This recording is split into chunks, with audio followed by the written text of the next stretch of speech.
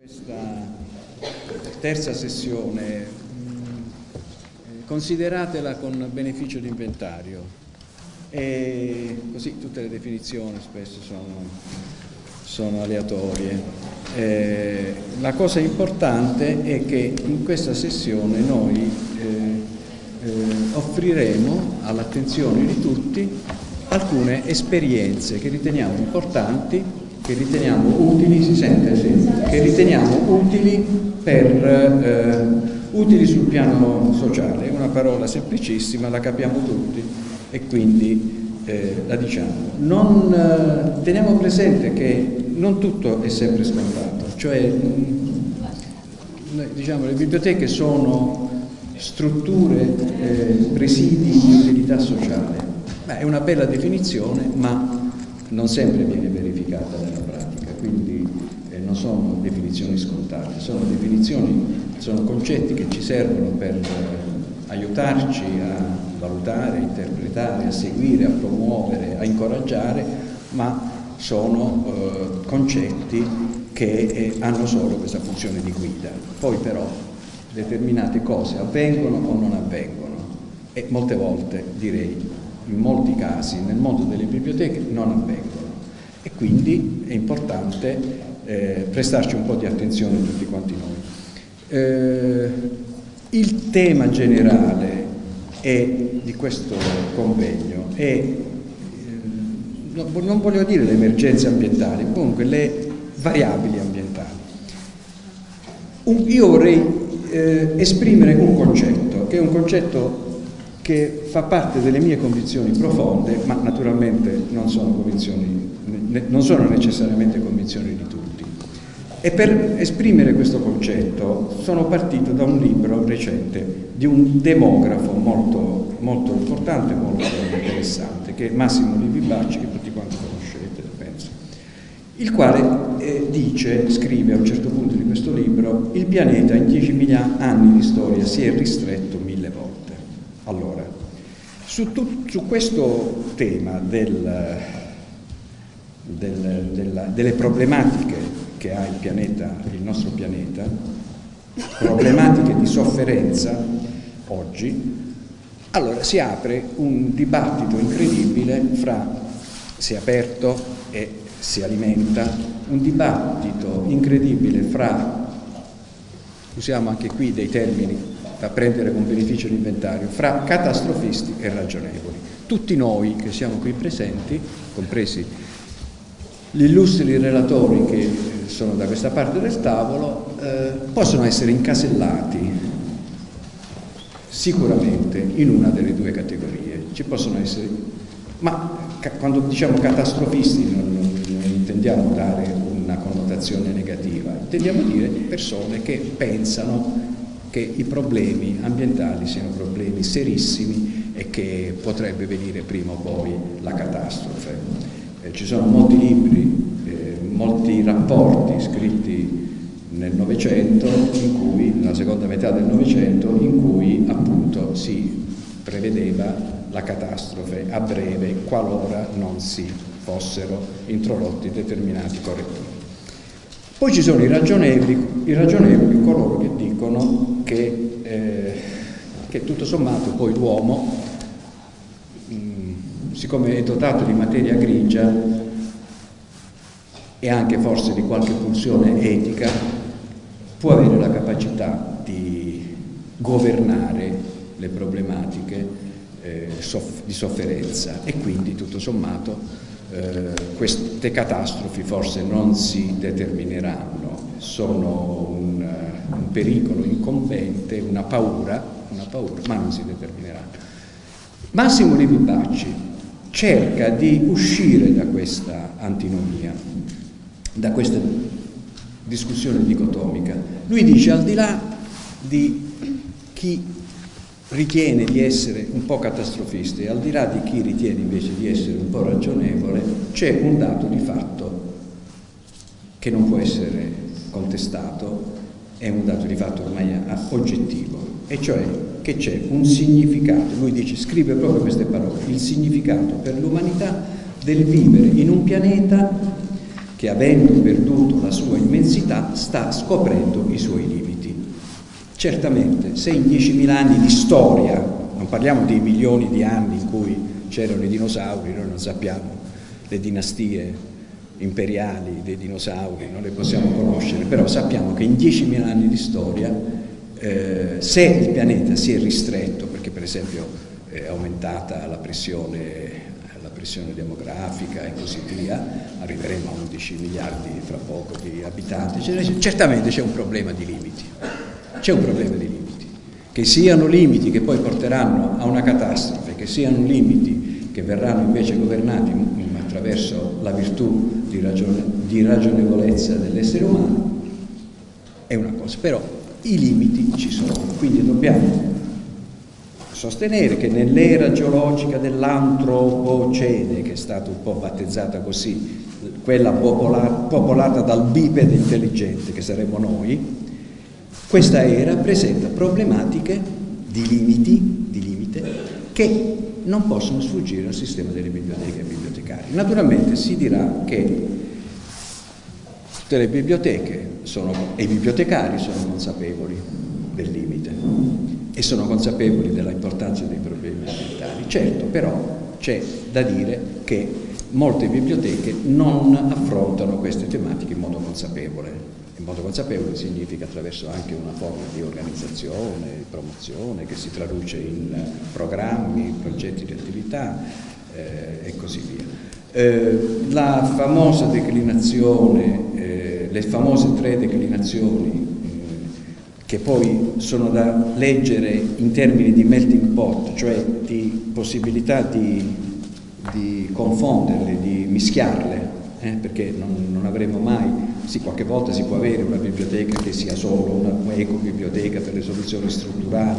per il tipo di location, cioè la valenza biblioteca, la biblioteca senza libri, insomma, no? eh, quindi assenza di carta, quindi una eco-biblioteca da questo punto di vista così come ci potrebbe essere, possiamo aggiungere il eh, bibliotecario girovago, cioè questa figura che anche sta, ormai è in letteratura, bibliotecario girovago è il bibliotecario che, esce, che non ha la biblioteca, però ha un tablet eh, sotto braccio e quindi va a prestare la sua, la sua professionalità di bibliotecario dovunque viene richiesto. E quindi questo è il, è il bibliotecario senza biblioteca e forse può essere considerato anche una forma di eco-bibliotecario, oppure la caratterizzazione tematica delle collezioni, che è il concetto più immediatamente evidente e comprensibile, eh, e le attività rivolte al territorio. Quindi, va bene, io questo, questa terza declinazione, cioè la, la biblioteca che opera nel territorio in modo diretto e proattivo e che entra in sintonia con eh, le speranze, le passioni, le paure, le volontà di cambiare che si esprimono nel territorio eh, è un, una biblioteca che potremmo definire biofilica, epigenetica, verbaristica, biofilica perché non credo che possa esistere un, un'attenzione per l'ambiente che non sia contemporaneamente attenzione per la vita, cioè eh, amore per la vita. Eh, verbaristica, va bene, è un termine che ormai conosciamo tutti, e quindi ehm, queste biblioteche che hanno queste caratteristiche eh, dovremmo eh, svilupparle sempre. E questo convegno ha voluto dare un contributo da questo punto di vista. Ora veniamo alle, alle eh, relazioni di questa sessione. Eh, noi daremo la parola eh, nell'ordine a Piero Cavaleri che è direttore della Biblioteca Rostoni della Libera Università di Castellanza, il quale ci ha già scritto una recensione del volume pubblicato dall'AIB sulle ecobiblioteche, ecoarchivi, ecomusei, ma lui adesso ci parlerà, farà qualche riflessione su questo. Dopodiché daremo la parola ad Emanuela Guidoboni dell'Accademia Europea che ci racconterà delle cose molto interessanti che riguardano eh, l'attività di tre decenni di un gruppo di lavoro che ha coinvolto 320 biblioteche e 470 archivi alla ricerca delle tracce eh, dei terremoti e quindi la possibilità attraverso le carte, attraverso l'indagine nei patrimoni preziosi delle biblioteche e degli archivi di dare un contributo per diciamo, la lotta ai terremoti, la, la, la, prevenzione dei terremoti oppure il poter capire il, il, la problematica dei terremoti. Eh, poi parlerà Angelo De Veris, della, che è il responsabile della biblioteca San Matteo degli Armeni in Perugia, sugli orti. Questo è un tema, lui lo tratterà, che riguarda molte biblioteche che si sono dotate di orti urbani o didattici, con cui fare attività didattiche soprattutto con la gioventù. Eh, e quindi li chiameremo anche bibliotecari contadini, non so, possiamo usare questi termini questi termini qui. Eh, poi ci sarà l'intervento non di Carmen Galluzzo ma del marito di Carmen Galluzzo che, si chiama, che è Edmondo Motorese, il quale è anche, un, come lui dirà, un operatore di che cosa? Di una biblioteca, la biblioteca motorese che, di Taranto, che ha la caratteristica di essere a poche centinaia di metri dalle ciminiere di quella fabbrica di morte che è l'Ilva, perché l'Ilva è una fabbrica di morte a Taranto, il mostro d'acciaio. Io personalmente in molti interventi, gliel'ho detto a, Edmondo, in molti interventi che ho fatto qui e là come presidente dell'ABI, eccetera, li ho chiamati bibliotecari eroi, perché i cittadini del quartiere Tamburi, che è il quartiere dove c'è vicino all'Ilva, attaccato all'Ilva, sono molte volte povera gente che non si, può, non si può trasferire altrove e quindi deve crescere i figli, devono vivere in mezzo ai veleni.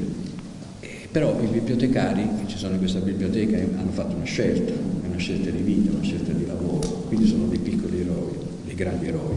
E lui ci racconterà qualcosa di questo e poi ci sarà un intervento molto interessante di Alessia Romeo del CIES, che è qui alla mia sinistra, e ci illustrerà anche un interessante kit didattico, che è un kit didattico in cui vengono affrontati i temi della giustizia ambientale, del cambiamento climatico e ambientale. Eh, e poi ce le illustrerà lei, kit che si potrebbero benissimo utilizzare sia da parte degli insegnanti sia da parte degli studenti eh, e comunque possono essere degli strumenti che entrano nella scatola degli attrezzi dell'eco-bibliotecario e delle eco-biblioteche. E poi abbiamo Luisa, è venuta Luisa? Non c'è ancora Luisa Marcarda? Va bene, Luisa Marcarda eh, ci porterà eh, l'esperienza di una biblioteca che lei ha definito parrocchiale territoriale, parrocchiale territoriale istituita nella parrocchia di Sant'Ignazio di Antiochia e che è poi in una, in una, zona, in un quartiere tra il Parco degli Acquedotti e quello della Piantica, qui a Roma, quindi molti romani conoscono questa, questo sito, questa, questo, questa location, eh, e lei che insegna Roma 3 però prenderà la parola, ah, che sta, io non vedo bene, stai lì? Ah no, non c'è. Vabbè. Eh, prenderà la parola non come in docenti di biblioteconomia, ma prenderà la parola come volontaria, bibliotecaria volontaria della parrocchia, della biblioteca parrocchiale, parrocchiale territoriale dello statuario. Dello statuario. E, e così, eh, e questa è la sessione. Quindi io darei subito ora la parola a Piero Cavalieri per il suo. Eh, naturalmente io sarò molto, eh, molto severo sui tempi perché dobbiamo rispettare i tempi. Quindi abbiamo direi dieci minuti per ciascuno.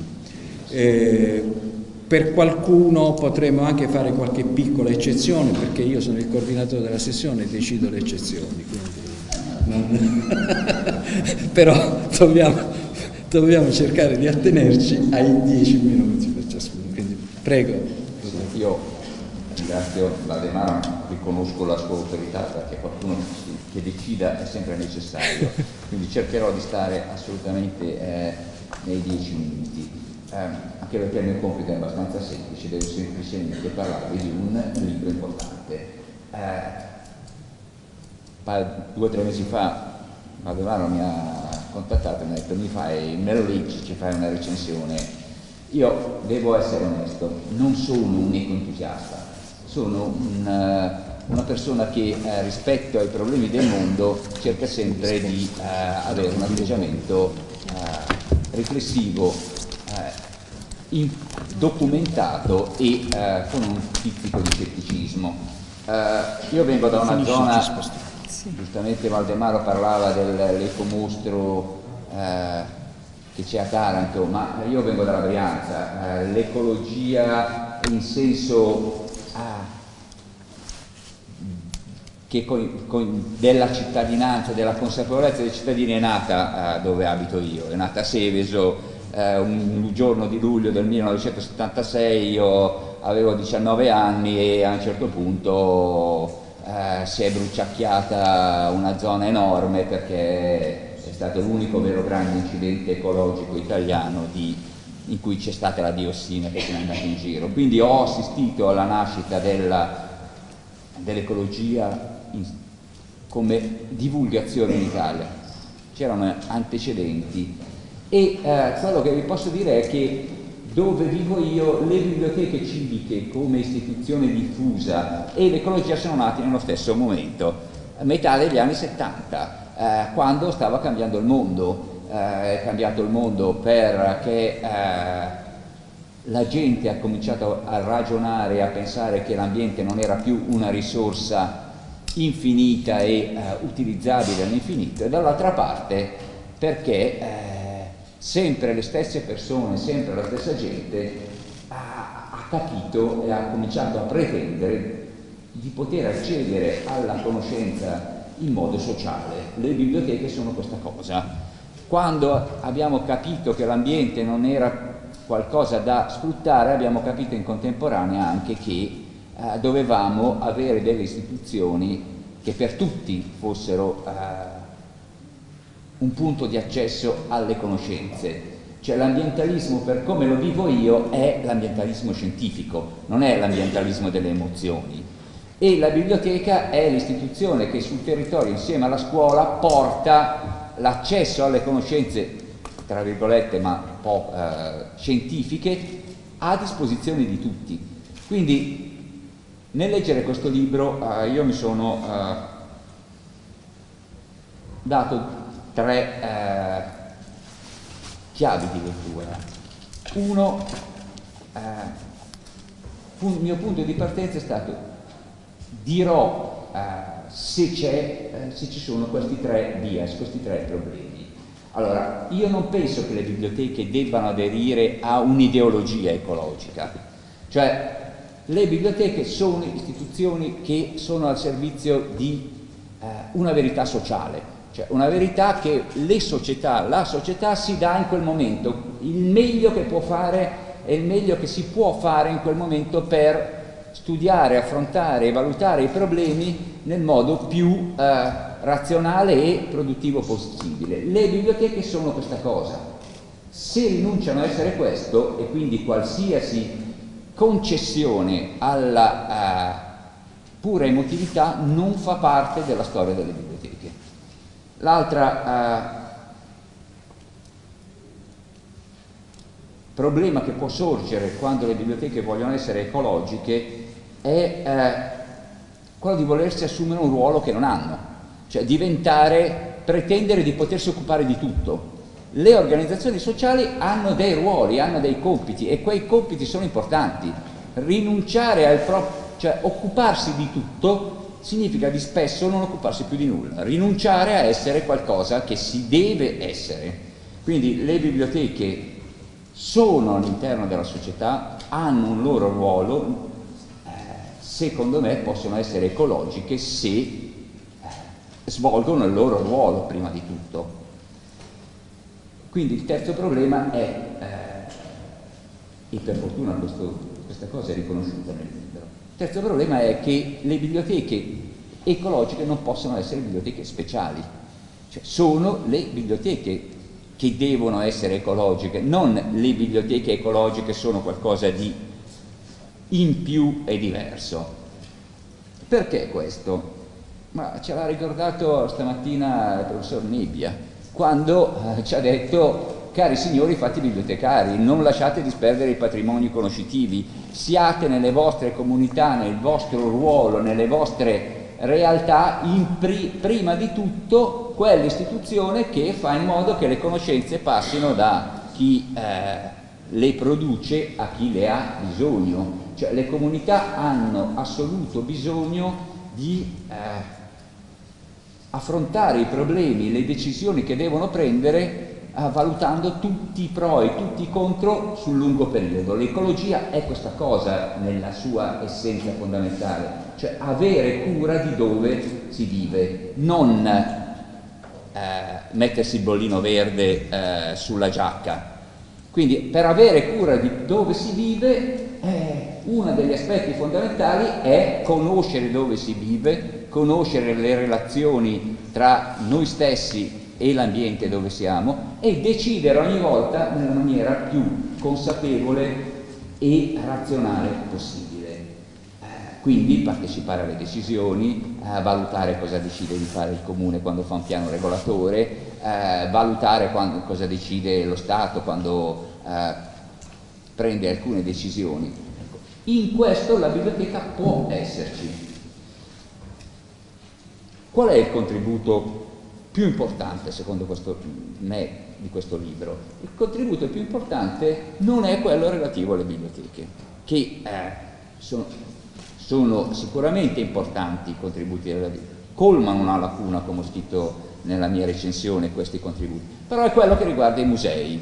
Perché? Perché hanno una storia più lunga gli ecomusei, hanno cominciato a riflettere su questo concetto già negli anni 70 e eh, noi quasi tutti, anch'io ero ignorante su questo, siccome non mi occupo di musei, pensavo che gli ecomusei, per come li definissero i, i museologi, fossero musei ambientali, musei che riguardano, che stanno all'aperto, musei che riguardano aspetti particolari della natura.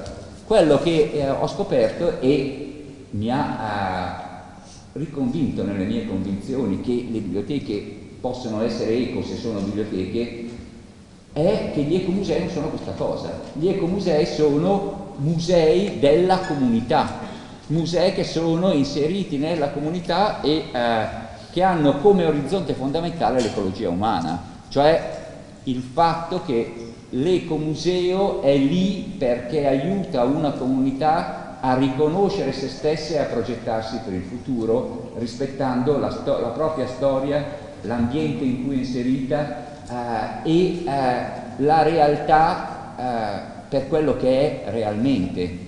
Quindi l'ecomuseo, come è definito in questo articolo, non è un museo dell'ecologia, ma è un museo dell'uomo e la biblioteca che vuole essere eco, leggendo tutti questi contributi, secondo me è una biblioteca che vuole essere fondamentalmente una biblioteca della propria comunità. Hai tre minuti, tre minuti.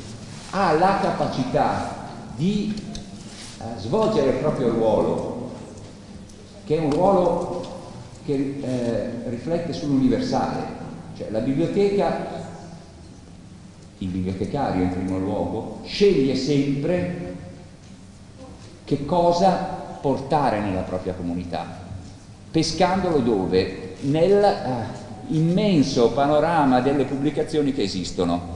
E questo è l'universale, le, le pubblicazioni che devi scegliere sono quelle che sono, sempre rispettando il fatto che la verità assoluta non esiste mai, quelle più vere possibili. E quindi porti l'universale dove? Nel locale. L'altra parte del lavoro della biblioteca è quello di tenere i piedi nella comunità, quindi portare l'universale che è utile nel locale. Ecco, facendo questo realizzi la cura della casa dove le persone vivono. E quindi la biblioteca ecologica è la biblioteca che vuole fare la biblioteca, che vuole essere protagonista nella propria comunità assumendosi rischi, responsabilità, facendo quello che deve fare, cioè aiutando la comunità a crescere dal punto di vista conoscitivo e fino a essere in grado di prendere le decisioni migliori possibili in ogni momento. Cioè a Taranto i tarantini devono decidere qual è la decisione migliore che devono prendere oggi per quella fabbrica lì con tutto il sapere scientifico e con tutti i problemi economici che nascono. Quindi è una decisione che dovranno prendere e le biblioteche saranno protagoniste se aiuteranno la comunità a prendere la decisione non giusta, ma la migliore che può essere presa in quel momento lì. Bene, eh, ringraziamo. Io non farò i commenti di cortesia alla fine di ogni intervento, do subito la parola alla professoressa Guido Boni. Grazie.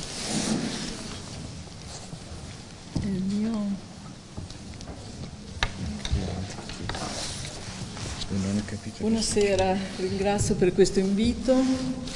E sono nel ruolo un po' scomodo di utente delle biblioteche, non sono una bibliotecaria, sono una sismologa storica che ha fruito delle biblioteche come di una grande memoria disponibile. Ecco se riusciamo a vederla prima. Bene, grazie.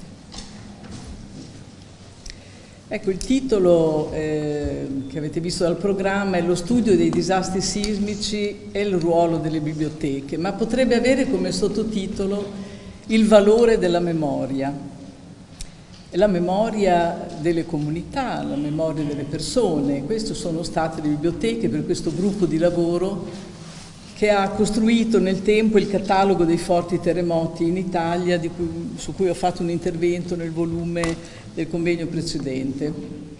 Ma vorrei farvi vedere intanto perché, perché la storia, cosa c'entra con i terremoti? Siamo abituati a vederli sempre come un settore tecnico-scientifico. Beh, la storia è eh, quasi l'altra metà del cielo della sismologia. La sismologia è strumentale e memoria di quello che c'è già stato. E quindi la storia ci dice quando, dove e come. Poi anche l'archeologia può dare un contributo, poi ci sono gli ingegneri, ci sono i geologi, ci sono i geofisici.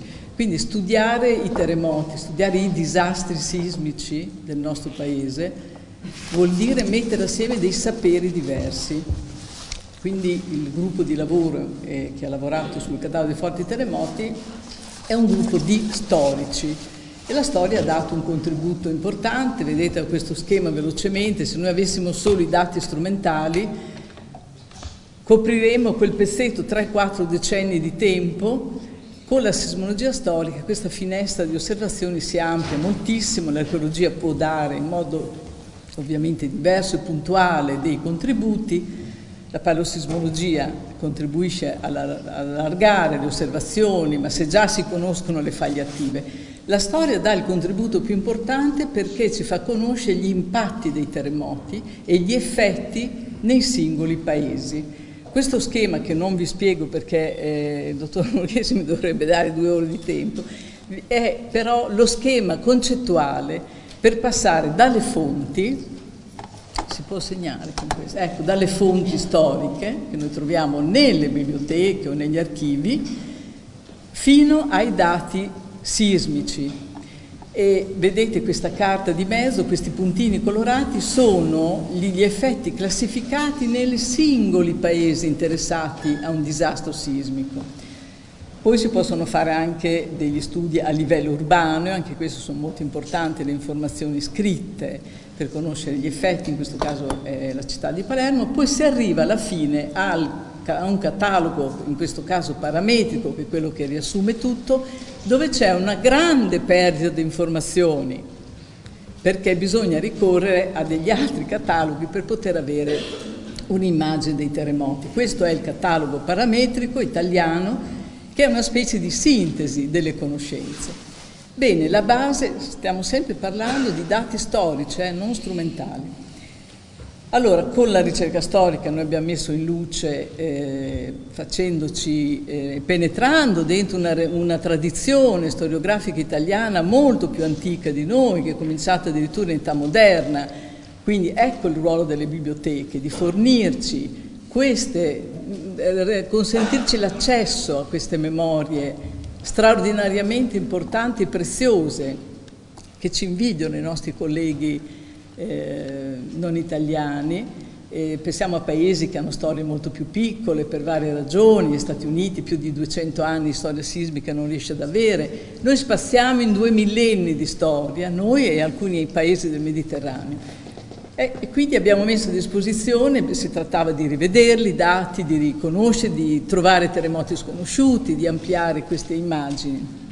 4.000 terremoti eh, noti, ci sono 34.000 scosse eh, classificate da questa tradizione che ci precede e che ancora è questo grande set di dati che va analizzato e abbiamo messo in luce questi 242 grandi terremoti, diciamo dal 1000, per mille anni, dal 1000 al XX secolo, ma abbiamo studiato anche i terremoti antichi e i terremoti medievali. A cosa sono serviti questi dati? prima di tutto a conoscere i terremoti dal punto di vista scientifico, perché è stato l'ambiente scientifico che ha promosso queste ricerche, il bisogno di conoscenza. E con, questi dati si è strutturato, si è definito il modello strutturale italiano, vedete quel, eh, quei quadratini sono proprio i terremoti avvenuti, poi c'è l'interpretazione anche geologica, quindi il quadro è molto più complesso di quello che si conosceva prima di queste ricerche. Siamo in questo un paese molto avanzato e devo dire anche molto invidiato, per esempio anche dai nostri colleghi giapponesi, che non hanno un catalogo così ricco e così sistematico come siamo riusciti a fare. Qui vedete l'andamento dei terremoti nel tempo, qui ho tenuto sempre gli ultimi mille anni anche per velocità e vedete qui certo c'è una rarefazione di informazioni anche perché abbiamo perso fonti o forse ricerche che vanno di nuovo approfondite e poi la, le, le, fonti seriali e la grande straordinaria richiesta di informazioni dal, dall'età moderna in poi. Questo è se noi abbassiamo, eh, dal, zoomiamo diciamo così, dal 1800 a oggi e abbassiamo il livello di intensità epicentrale, vedete i terremoti sono molti di più, e sono 183 eventi, queste bandierine sono i maremoti correlati. La cosa interessante è che c'è un rallentamento, si rileva, dell'attività sismica, noi qui non abbiamo perso i dati perché sono i nostri anni e questo ci può dire che ci potrebbe essere una ripresa nei prossimi anni oppure può proseguire questo rallentamento perché i terremoti avvengono per dinamiche che cambiano nei milioni di anni quindi se noi ribaltassimo questo grafico per i prossimi secoli, beh, sarebbe molto simile a quello che potrebbe accadere. Ecco anche il, a cosa serve questa ricerca approfondita. questa è un'immagine, sì?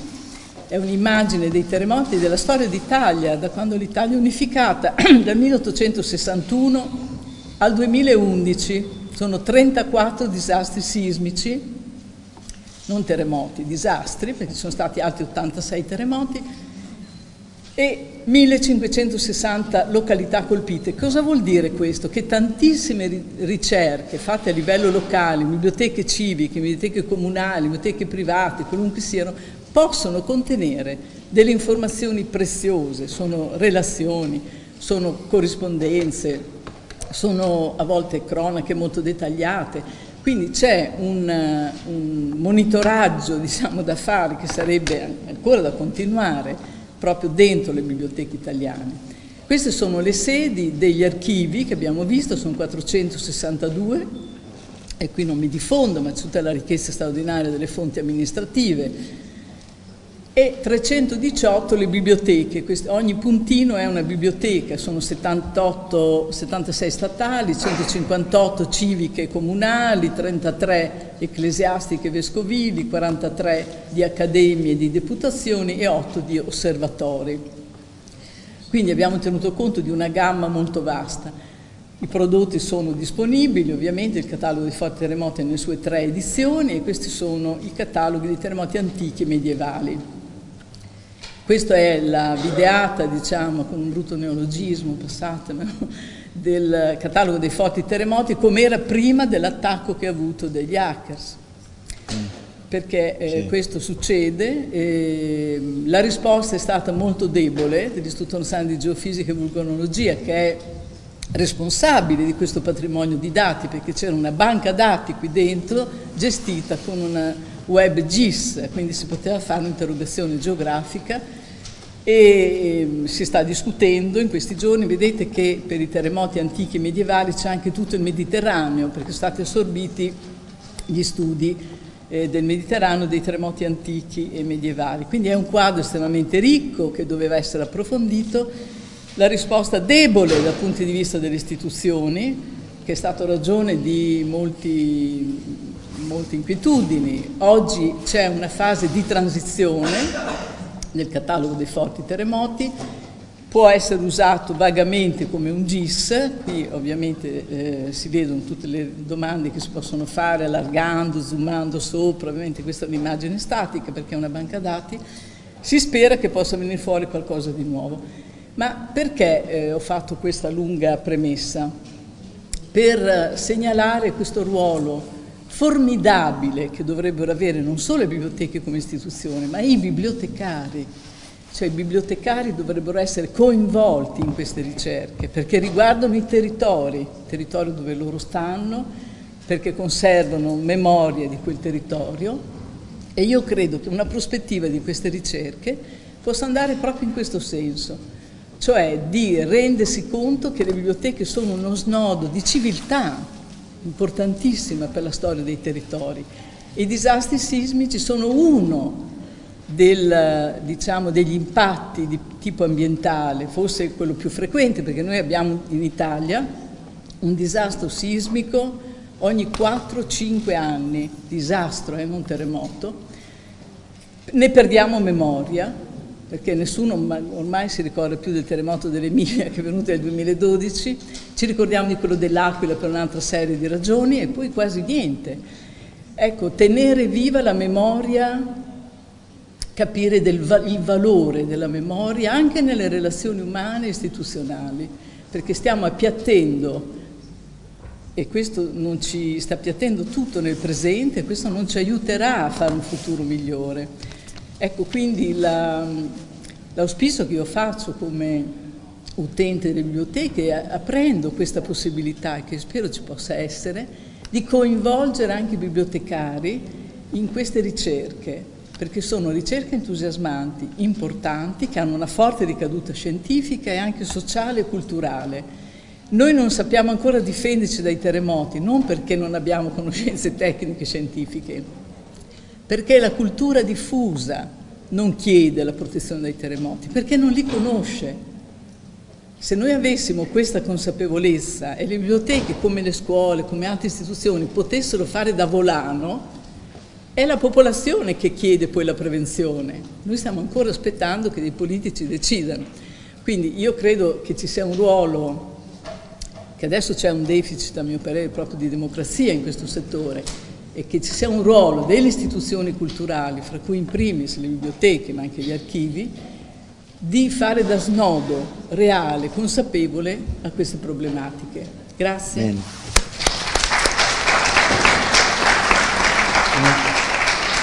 Naturalmente invitiamo a leggere il saggio eh, di Emanuela Guidoboni che è molto bel saggio nel volume, ecco, volume di cui ha parlato Piero Cavalleri. Adesso la parola a Gabriele De Veris per il suo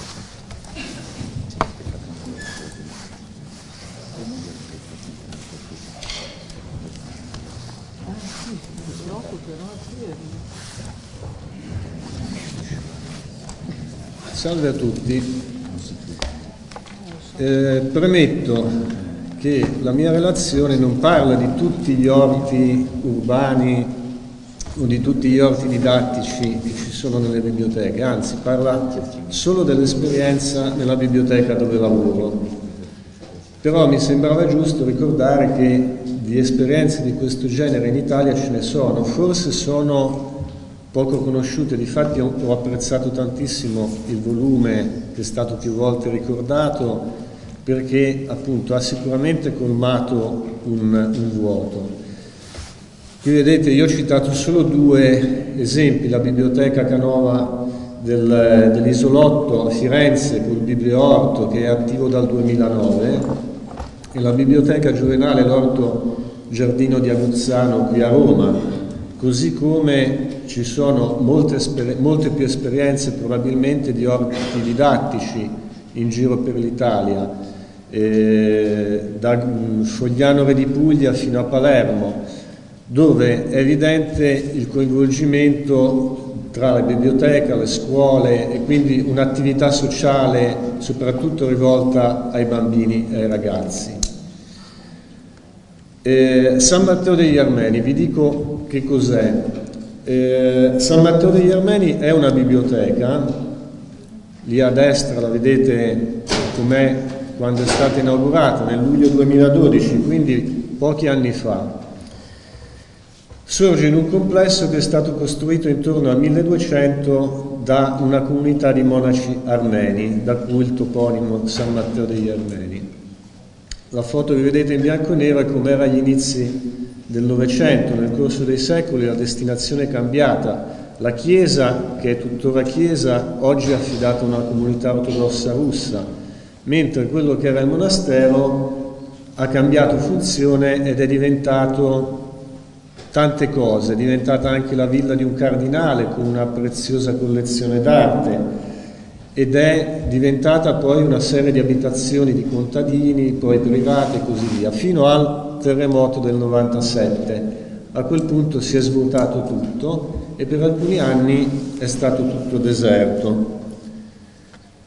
Successivamente è stato ristrutturato e poi la, è stata prima riaperta la chiesa e poi la biblioteca nel 2012. La biblioteca, di cui vedete alcune immagini dell'interno, fa parte del sistema bibliotecario comunale, cioè di altre biblioteche del comune, però a differenza delle altre è specializzata, cioè abbiamo eh, documenti, libri, materiali su temi di pace, non violenza, dialogo interculturale e interreligioso, diritti umani, commercio ecosolidale e ottimamente anche ambiente. Tra le cose più interessanti la biblioteca di Aldo Capitini che, a parte la marcia Perugia Assisi, ha sviluppato tanti pensieri, tra cui la, la questione della democrazia dal basso, la partecipazione e così via. E poi anche un centro di documentazione di Amnesty International. Ultimo elemento che vi dico è che dall'anno scorso ospitiamo anche i matrimoni civili vi ho dato alcuni elementi per capire qual è il contesto e per capire che effettivamente siamo dentro un territorio e ci sono delle relazioni forti già sviluppate. Tra queste mh, ne ricordo altre due, una, una collaborazione con le popolazioni Duamish e Suinomish di Seattle, che è una delle eh, città gemellate con Perugia, quindi stiamo parlando di popolazioni native che hanno una forte attenzione nel rapporto uomo-natura, soprattutto perché loro l'hanno vissuta in maniera drammatica, l'ambiente che non c'è più, un ambiente che per loro era fonte proprio di eh, vita. E poi l'altro elemento che eh, è importante è questa eh, istituzione del Giardino dei Giusti del Mondo.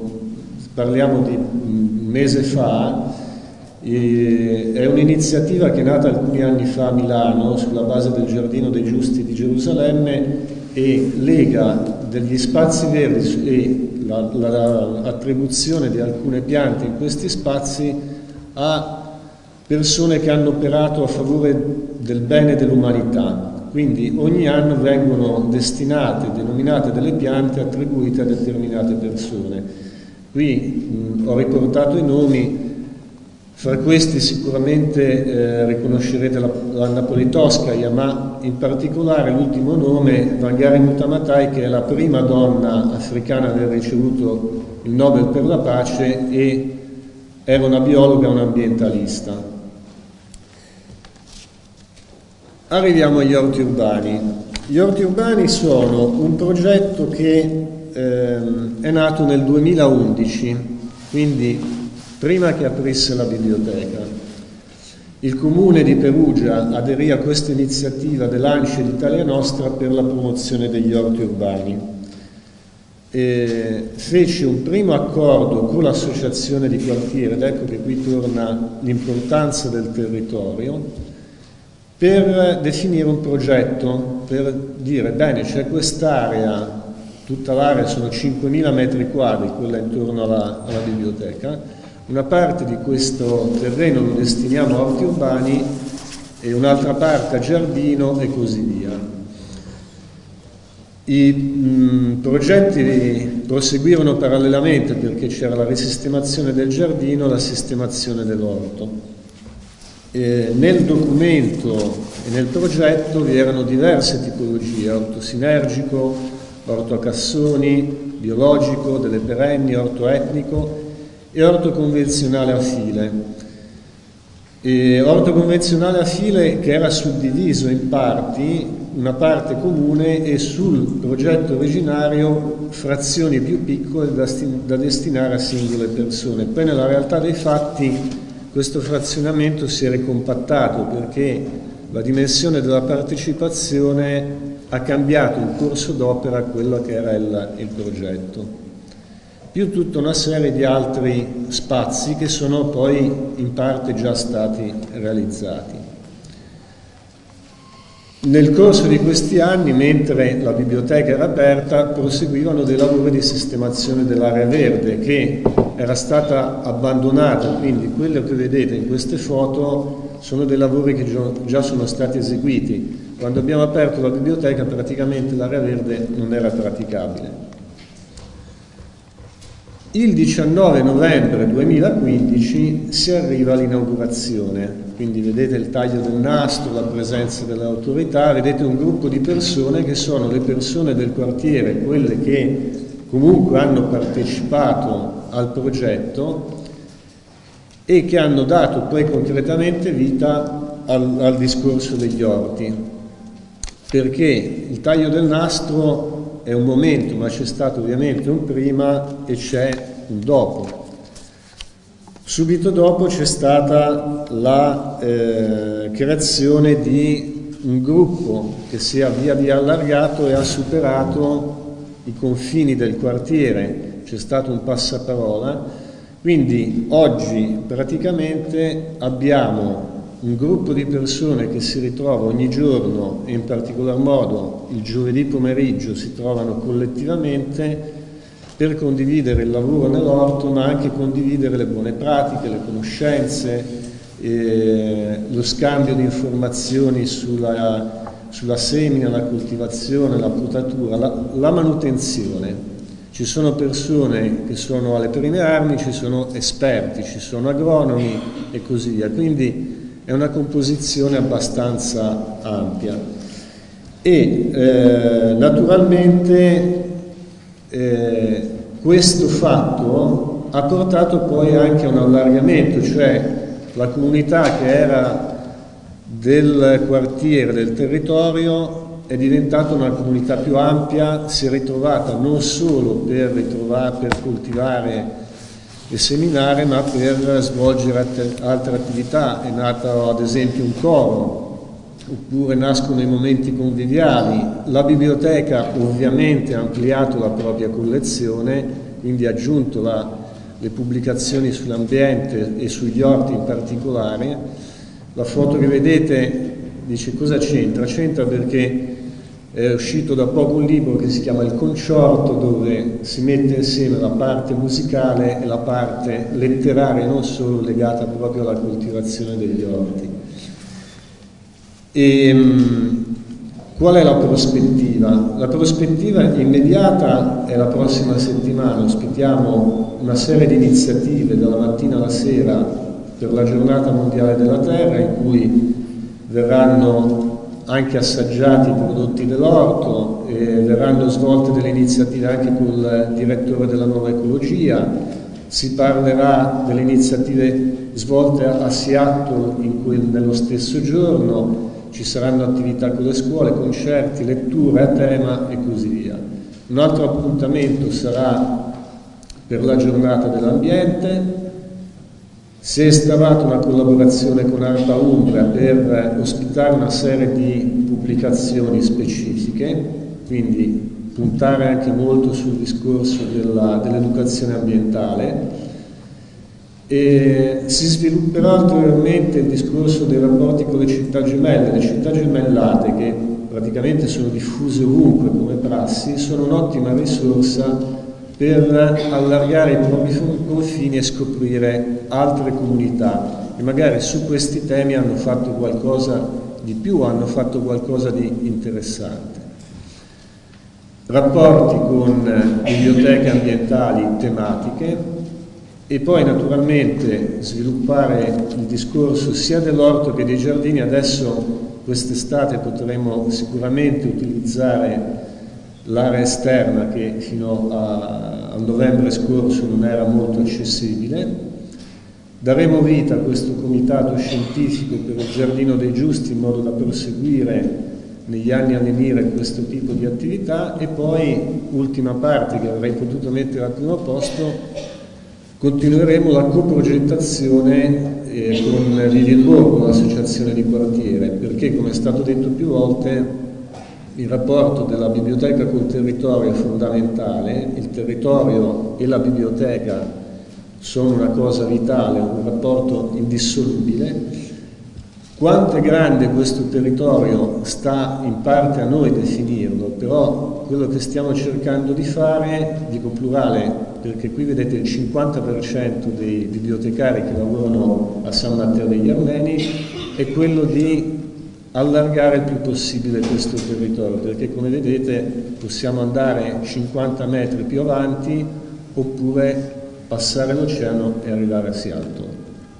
Vi aspettiamo.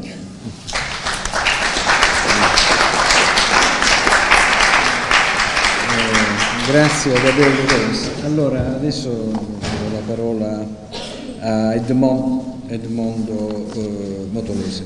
Eh, una sola cosa vorrei dire, se noi facessimo un esercizio per capire come la funzionalità welfaristica del sistema bibliotecario italiano sia molto debole, potremmo fare un esercizio di questo genere.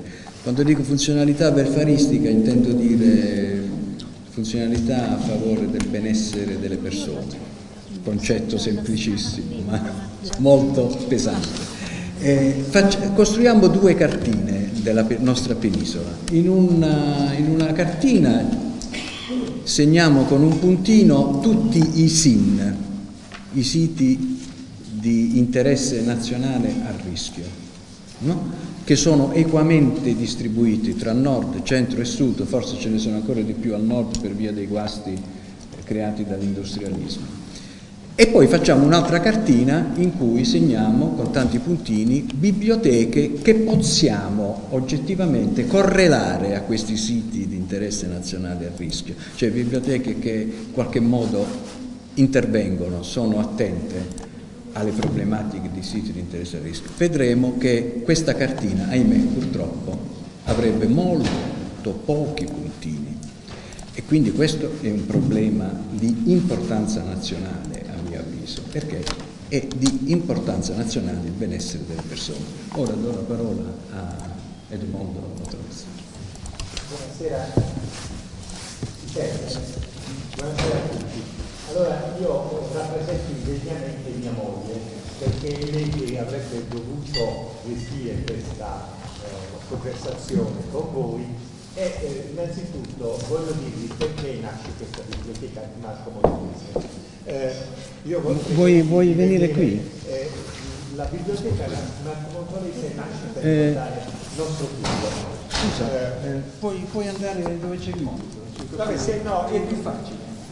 Eh, no, perché ho, ho, io mi muovo solo con il mio computer, ecco perché. Allora, eh, fai, allora mi chiedo scusa. Eh. Vabbè, stai, stai tu. No, vorrei che, eh, vorrei che partissimo dalla fotografia di mio figlio, anzi di nostro figlio.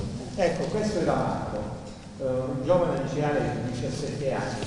È un maledetto giorno dell'estate del 1994 mentre eravamo a mare ci telefonano e ci dicono che il nostro figlio aveva avuto un incidente proprio sotto casa. Noi tutto potevamo pensare, meno che non dovessimo più vedere il nostro figlio.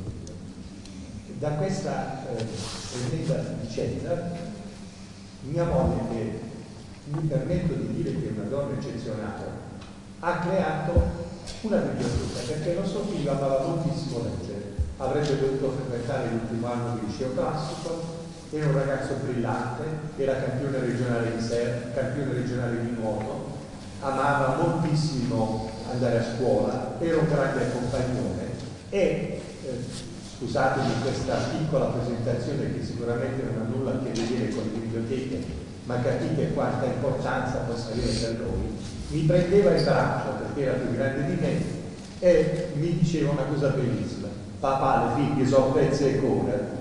Con questa espressione vi voglio far capire quanto sia stato importante questo momento di vita drammatica, ma eh, siccome eh, da queste cose così brutte possono nascere anche delle cose belle, e con la tenacia che mia moglie ha sempre tenuto, ha eh, pensato di continuare l'eredità di nostro figlio, la lettura. Mia moglie è un'insegnante oramai in pensione e insegnava nel famoso quartiere Tamburi, proprio lì dove esiste, insiste l'Ital Sider. E ha incominciato eh, a capire quanto sia importante comunicare con i propri alunni e quindi ha pensato di incominciare a rivolgere la propria attenzione verso la maturità di questi ragazzi. E eh, da quel momento in poi abbiamo iniziato, come diceva il professore emerito dell'Università di Bari, la questua dei libri delle persone che se ne volessero disfare e abbiamo raccolto, e io non, lo dico con una punta di orgoglio, ho fatto il facchino, ho salito cinque piani a piedi là dove non c'era l'ascensore per raccogliere i libri che qualche volta erano inutilizzabili dal punto di vista della biblioteca, però l'abbiamo fatto questo lavoro perché ci sentivamo di portare avanti questa iniziativa. E a un certo punto, quando abbiamo raccolto un numero consistente di eh, libri, eh, abbiamo chiesto al nostro vescovo, ora emerito di Taranto, di trovarci un posto alla, nel quartiere Tamburi per poter eh, realizzare la biblioteca eh, a nome di nostro figlio. Il vescovo ci ha concesso una stanza, una bella stanza abbastanza grande e vi dico che la biblioteca è in linea d'aria esattamente distante dalle famose ciminiere dell'Ital Sider a 1200 metri.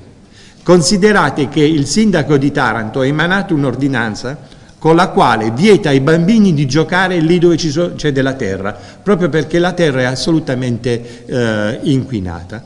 E eh, quindi presa da questa voglia di dare un contributo a, alla, al, al quartiere, mia moglie ha incominciato a realizzare anche delle iniziative per conoscere, far conoscere che cosa è il problema inquinamento. Io adesso incomincio a leggere qualche cosa che lei mi ha scritto perché eh, io poi eh, ho fatto solo il facchino, lei ha fatto invece, eh, è stata la mente di questa iniziativa. La biblioteca svolge la sua attività di promozione della, della lettura trovando, eh, lavorando con le scuole, le famiglie e gli adulti che la frequentano. Le esperienze che noi proponiamo riguardano la conoscenza del meraviglioso ambiente urbanistico monumentale in cui vivono gli abitanti e la conoscenza dell'ambiente. L'inquinamento è al centro delle nostre attenzioni, come di tutti quegli ambientalisti del territorio che si occupano della difesa del luogo in cui viviamo in una posizione molto concreta. Alessandro Marescotti, ambientalista del territorio che si occupa della difesa dei luoghi in cui eh, viviamo, con una posizione molto corretta, eh, ha cercato, scusatemi, qualche volta salto perché gli occhiali non sono quelli, eh, dunque, eh, vi chiedo scusa anche perché l'emozione, l'inquinamento ambientale è al centro della nostra attenzione, così come tutti quegli ambientalisti del territorio che si occupano della difesa del luogo in cui viviamo. Alessandro Marescotti, Michele Tursi, Angelo Di Leo, Beatrice Ruscio sono venuti nella nostra biblioteca a presentare i loro libri che raccontano storie di Taranto inquinata. Dibattito acceso e interessante è stato il tema dell'inquinamento e della tutela ambientale, di estrema attualità, condotto da Alessandro Marescotti ai soci della nostra associazione, ma anche ai cittadini del quartiere. Qui mi interrompo perché Carmen, che è mia moglie, scusatemi se non l'avevo detto prima, è, eh, ha attivato un sistema abbastanza interessante, ha creato le, le merende culturali. Che cosa ha fatto? Ha organizzato praticamente, eh, delle, ha comprato delle aranciate, eh, eh, eh quelle, insomma, quelle, anzi lei ha tentato di farle a casa, ha fatto delle crostate, ha tentato di eh, creare dei momenti di divago per i bambini delle scuole medie, scuola in cui lei ha insegnato, e ha coinvolto i genitori di questi bambini. Quindi per tentare di, insomma, di allettarli non ha, non ha, iniziato dicendo presentiamo un libro di Tizio, Caio Sempronio, ma ha semplicemente iniziato invitando a giocare e a mangiare qualche cosa. Approfittando, eh, cioè, dopo aver escogitato questo sistema, ha anche fatto parlare questi eh, autori, questi giornalisti tarantini e questi autori autori che si sono eh, praticamente presentati e hanno rappresentato le difficoltà che si, sono, eh, dovute, che si incontrano nel eh, momento ambientale. Ehm, dunque, ehm, vi chiedo scusa. La libertà, il benessere e lo sviluppo della società degli individui sono valori fondamentali. Essi potranno essere raggiunti solo attraverso capacità di eh, cittadini ben informati, di esercitare i loro diritti democratici e di giocare un ruolo attivo nella società. La partecipazione costruttiva e lo sviluppo della democrazia dipendono da un'istruzione soddisfacente, così come da un accesso libero e senza limitazioni alla coscienza, al pensiero e alla cultura dell'informazione. I temi ambientali in una biblioteca stanno diventando, stanno diventando, sempre più importanti e strategici, in quanto su Internet vi sono molte informazioni, ma pochi libri in grado di offrire una base di conoscenza si, eh, per chi si vuole appropriarsi delle conoscenze di base, ossia di quelle che servono a capire l'informazione stessa che si presenta sempre più specializzata e complessa in questo campo. La, la, nostra biblioteca potremmo definirla, anche se in parte, biblioteca per l'ambiente e il nostro lavoro è volto a farla diventare luogo di raccolta e di condivisione di libri di base e luogo di incontro per approfondire e alfabetizzare la conoscenza scientifica. Eh, vorrei aggiungere una cosa, si parlavano di giardini eh, condivisi. Eh, uh, parrebbe, parrebbe che i cipressi eh, bonificano eh, la eh, terra in cui vengono coltivati. Mia moglie ha chiesto, ma ancora non ha tenuto, ottenuto, dall'amministrazione eh, comunale di piantare dei cipressi eh, nel luogo in cui insiste il, la biblioteca. La biblioteca è circondata non da 5.000 metri quadri come quella della biblioteca degli armeni, ma da un semplice giardino di circa 1.000 metri quadri, non solo 1.000 metri. E mia moglie ha pensato, visto che non i, i, ragazzini non possono giocare nella terra, di creare appunto questa uh, alternativa. E ecco, mia moglie è sempre quella lì al centro, e, quindi uh, quella signora bruna con i bambini in braccio. E, um, eh, nonostante questo tentativo di creare un momento di, così, di eh, bonifica, l'amministrazione comunale nicchia, non deve spendere neanche un centesimo, è tutto a carico nostro ma ancora non abbiamo avuto alcuna risposta. Eh, eh, altro nostro amico in questa iniziativa è il dottor Orvello, è un medico eh, che fa parte dell'Associazione dei Medici Ambientalisti, il quale spesso incontra i nostri diciamo, eh, eh, frequentatori eh, tentando di spiegare qual è l'alimentazione corretta per questi eh, luoghi, per chi vive in questi luoghi. Eh, io peraltro lavoro in azienda sanitaria e da alcuni studi epidemiologici è emersa una cosa disastrosa. Le mamme dei bambini, che, eh, le mamme incinta, eh, hanno grossi problemi eh, mi dice 5 minuti e quindi sarò veloce. Mamma, eh, le mamme dei nostri bambini che sono incinta hanno il proprio latte da dare ai propri figlioli, quello che allattano al seno, eh, praticamente con eh, la diossina già dentro, una cosa vergognosa. E quindi eh, quando ehm, il, non mi ricordo il suo nome, diceva che i tarantini devono decidere che cosa fare, non siamo noi tarantini a doverlo decidere, è la politica.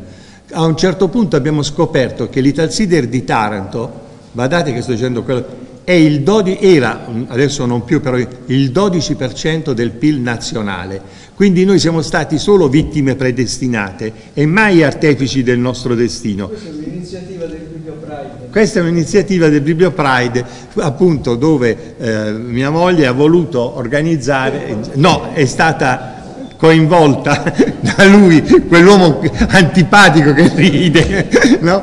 questa iniziativa uh, che ha coinvolto molte scuole di, di, tutto il quartiere Tamburi, tutte le scuole del quartiere Tamburi. Uh, vorrei dire tante cose, ma credetemi, sono abbastanza eh, emozionato. Peraltro mia moglie ha creato anche una biblioteca all'interno del reparto di pediatria. E credetemi, anche lì è molto difficile, perché stamattina si parlava che solo il 9% delle persone eh, leggono veramente un libro. Invitare i ragazzi eh, le famiglie a leggere un libro è una cosa difficilissima. Quindi lei mette in atto tutta una serie di stratagemmi che in qualche modo deve, eh, mettere, diciamo, deve coinvolgere i bambini in maniera tale che non risulti una cosa pesante. Io ehm, mi fermo qui eh, e mm, vi chiedo scusa se sono stato molto eh, così, son, eh, abbastanza impreciso rispetto a quello che avrebbe voluto dire mia moglie, però vi assicuro che parlare di mio figlio mi crea sempre molta, molta, molta emozione. Vi chiedo scusa e grazie.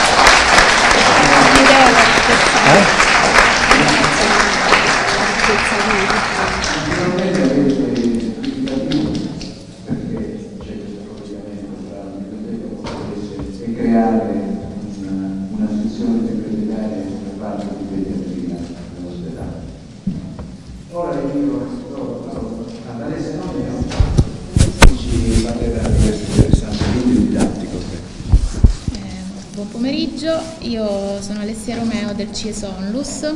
Eh, il CIES è un'organizzazione non governativa che dal 1983 si occupa di trattare e spiegare un po' quali sono le relazioni fra nord e sud globali, eh, in particolare a scuola, eh, per quanto riguarda il settore educazione, ma anche in altri ambiti, grazie alla cooperazione internazionale, grazie alla mediazione linguistico-culturale. Eh, I temi principali che sono stati portati a scuola negli anni sono stati quello della migrazione e quello dell'intercultura e da poco più di un anno abbiamo, stiamo affrontando una nuova sfida grazie ad un progetto europeo, il progetto Same World Sustainability Awareness Mobilization Environment, in cui si parla appunto di ambiente. Il progetto è un progetto cofinanziato dall'Unione Europea. Ehm, nel, nell'ambito del programma Europaid. Come potete vedere i partner sono molti, sono 13 partner che mm, realizzano le attività in 10 differenti paesi europei. Questo è quello di cui abbiamo voluto parlare con questo progetto, la sfida che abbiamo accolto all'inizio, al momento già dell'ideazione e della progettazione, e cioè fare vedere quali sono le connessioni che ci sono fra le nostre scelte di vita e le conseguenze che queste scelte hanno sulle condizioni di vita di persone che vivono in altri posti, lontani ma anche vicini, e, ehm, e le, le, le, conseguenze che avranno sulla vita di persone che vivranno dove viviamo noi oggi tra qualche anno. Quindi questa è un'infografica che è stata realizzata per il progetto che eh, fa vedere quanto in realtà tutto sia estremamente collegato e interrelato. Le attività del progetto sono delle attività laboratoriali, quindi stiamo realizzando dei laboratori a scuola che sono in corso in questo momento e termineranno a dicembre del 2016. Tra l'altro uno dei laboratori che stiamo realizzando utilizza proprio un libro di Miriam Dubini che si chiama Non toccate la terra, che parla dei eh, ragazzi di Taranto. Eh, abbiamo un blended course che è in realizzazione, eh, verrà diffuso nelle scuole, in particolare per gli insegnanti a partire dal prossimo anno scolastico. Parliamo di un corso in parte online e in parte in presenza. Verranno realizzate delle attività all'aperto, un concorso europeo di buone pratiche scolastiche legate all'ambiente, un osservatorio sulla giustizia ambientale fatto dagli studenti universitari per trovare dei casi di ingiustizia ambientale nei loro territori una raccolta di buone pratiche nel sud globale e alla fine un gioco di ruolo online. Un ruolo molto importante nella realizzazione già delle prime attività di progetto è stato ricoperto dal CEDOC, così lo chiamiamo, Centro di Documentazione Interculturale del CIES, eh, Biblioteca Interculturale. Il CEDOC praticamente dall'inizio, dalla nascita del CIES come ONG, si è occupato di fornire eh, la documentazione necessaria per la realizzazione dei progetti eh, di tutti i settori del CIES. Eh, in questo momento è una biblioteca, è una mediateca, un centro di sorse eh, che potremmo definire, come ha detto prima Valdemaro, eh, veramente biofilica, mm. nel senso che eh, si occupa veramente, ha una grande attenzione per la vita, per la vita del quartiere, del territorio in cui si trova, della scuola che si trova sopra la biblioteca e, e delle scuole in genere. Un ruolo molto importante è stato quello eh, ricoperto dal centro DOC proprio per la realizzazione del primo faticosissimo prodotto del, del progetto, che è questo kit, mm, un uh, kit educativo uh, per insegnanti che vuole proprio portare a scuola questi tre temi fondamentali che sono i tre temi del progetto, la giustizia ambientale, il cambiamento climatico e la migrazione ambientale. Eh, questi temi si affrontano eh, attraverso delle unità mh, didattiche eh, che presentano degli approfondimenti teorici e delle domande all'esperto.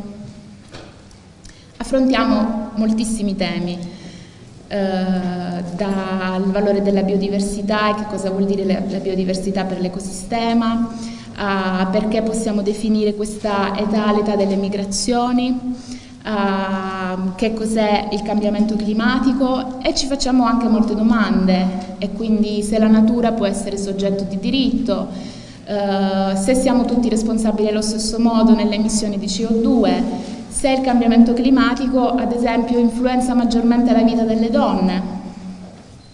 Gli argomenti come potete vedere sono insomma, tanti.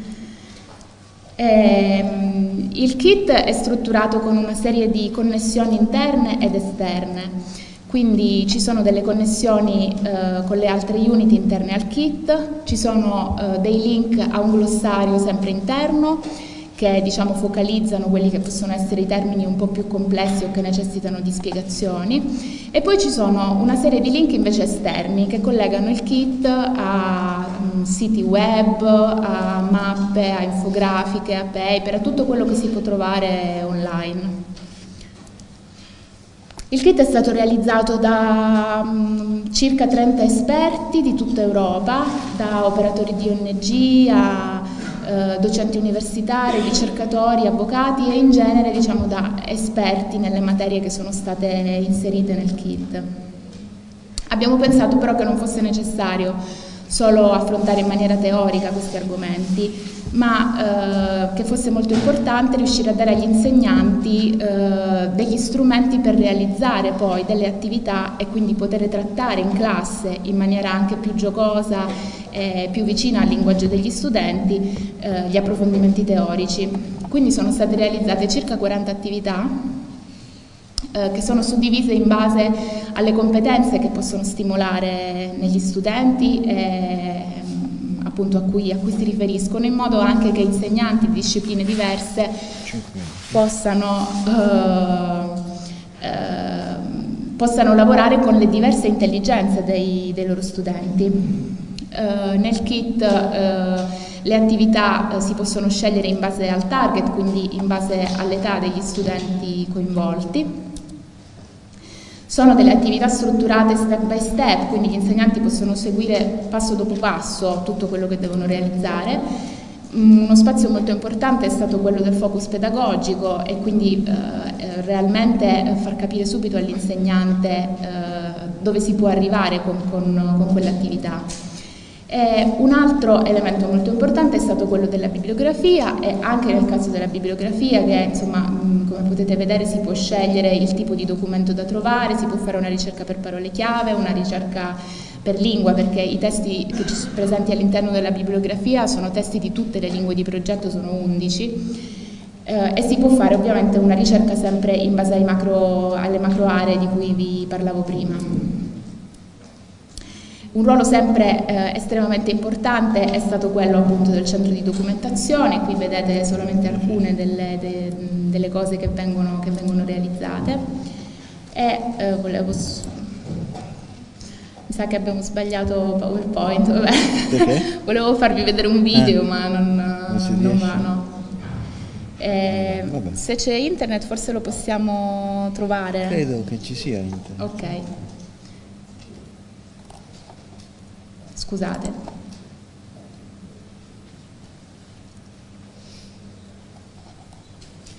Così intanto vogliamo l'occasione anche per vedere il sito.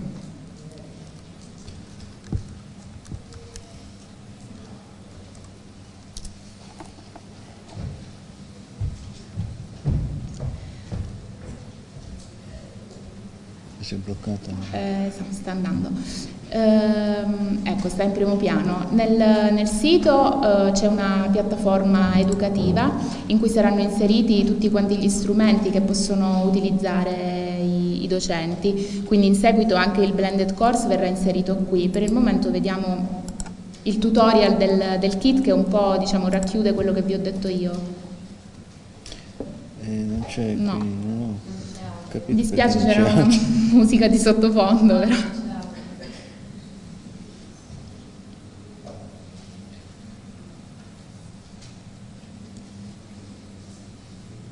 Che musica c'era? La descriviamo come si fa.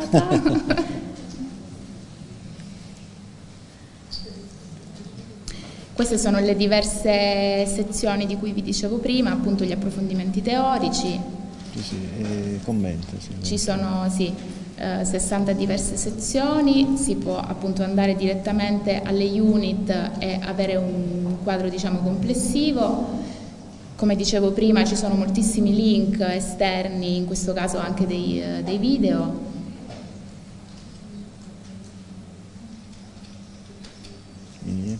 Questi sono un po' i temi e le attività in classe sono più di 40, appunto suddivise in base alle, alle competenze che sviluppano. È possibile fare delle ricerche attraverso delle, delle mappe, appunto queste sono uh, tutte le attività presenti e quindi si possono scegliere le attività in base alla, alla materia che ci interessa di più e all'età.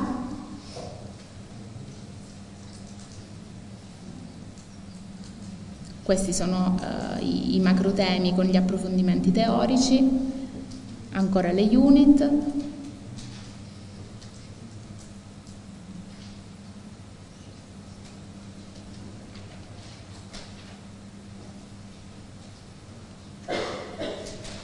e alla fine ci sono il glossario e la bibliografia. Ovviamente tutto, tutti eh, i contenuti sono stati tradotti in tutte le lingue, quindi in questo momento stiamo vedendo la versione inglese, però c'è anche in italiano e nelle altre lingue di progetto. Questa era la bibliografia, come, mi, come vi dicevo.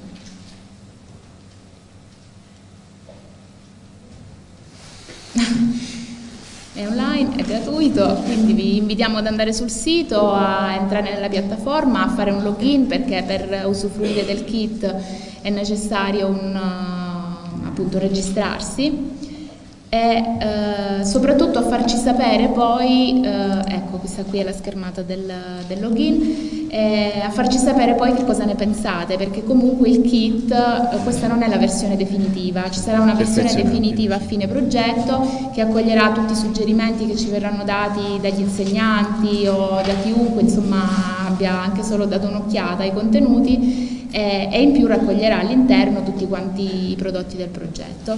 Bene. Grazie.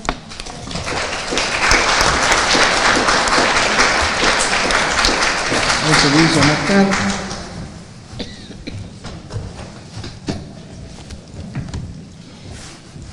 Buonasera a tutti,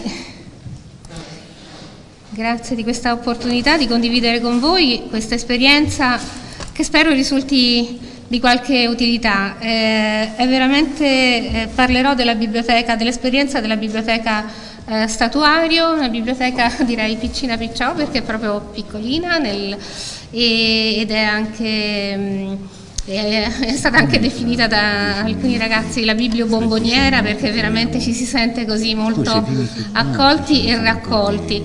E, nel, nell'intervento eh, eh, non solo ecco, vorrei sottolineare sì, un impegno per l'ambiente, ma eh, anche diciamo, l'attenzione eh, eh, all'ambiente, come posso dire, umano, costituito insomma, dalla rete di, eh, di persone che eh, hanno reso possibile eh, questa esperienza e la rendono appunto, continuano a renderla possibile, viva e significativa. sicuramente i punti di criticità sono parecchi, però insomma vediamo, voglio presentare eh, velocemente eh, alcuni aspetti, mi soffermerò insomma, su alcuni aspetti più legati al tema di questa giornata per eh, così riflettere insomma, su come la sostenibilità è stata affrontata in biblioteca.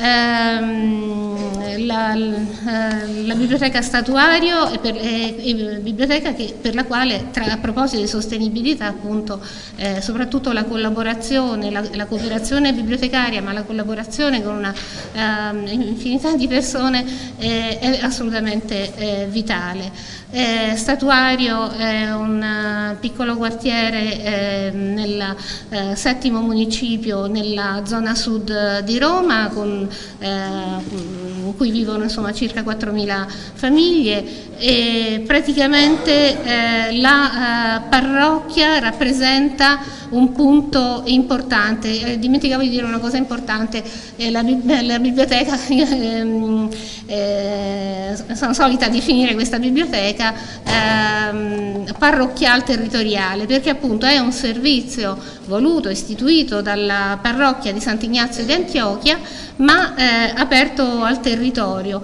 E, mm, e nasce, eh, cioè, statuario è, è inserito insomma, in un contesto eh, assolutamente unico che è quello, è l'area tra ehm, eh, il Parco degli Acquedotti e il Parco dell'Appia Antica, quindi io non so se eh, Valdemaro trova già degli elementi che possano far rientrare la biblioteca, insomma, possano eh, legittimarci a far parte di queste eh, delle BIA.